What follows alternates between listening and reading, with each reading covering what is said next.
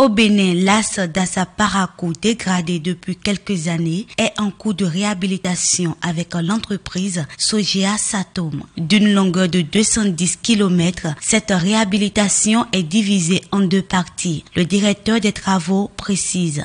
Euh, donc c'est une réhabilitation. Donc c'est une réhabilitation qui s'est divisée en deux morceaux. Euh, une partie de 74 km on a fait du recyclage traitement ciment et un autre linéaire de 136 km qu'on a euh, raboté euh, avant de passer les enrobés. Donc il y a 72 km sur l'axe d'Assa Paracou, précisément entre euh, Kokoro et Tchatchou, et 2 km à Chéribé, un peu avant d'Assa. Après les, travaux de recyclage et de rabotage, nous avons appliqué la grave bitume sur des épaisseurs euh, variables en fonction des zones euh, et une couche de BBM sur 6 cm.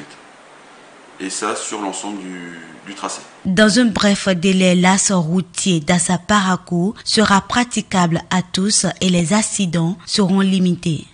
Donc actuellement, euh, l'assainissement touche à sa fin, toute la partie chaussée également. Euh, l'ensemble de la grave bitume est terminé et euh, il nous reste un petit peu plus de 30 km de BBME à appliquer. Donc la fin du BBME est prévue pour euh, première quinzaine de novembre. Et à la suite de cela, il nous restera la partie péage de Dio. Pour la construction des voies, des mesures sont mises en place pour la sécurité de tous. La société Sogia Satom a pris des dispositions pour le bien-être de la population et des travailleurs. On, est sur un axe important où il y a beaucoup de circulation et nous travaillons sur cet axe. Et euh, nous travaillons principalement en demi-chaussée. Et il était impératif de pouvoir sécuriser les usagers de la route et de sécuriser nos employés.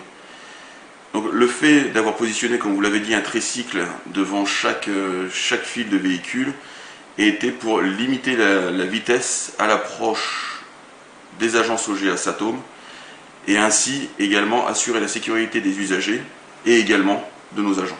Par l'engagement du gouvernement dans le secteur du transport, la société Sogea Satom atteint 90% des travaux en fin octobre. En fin juillet 2022, les travaux de l'AS d'Assa Parakou prendront fin et un nouveau éclat pour les communes de l'AS.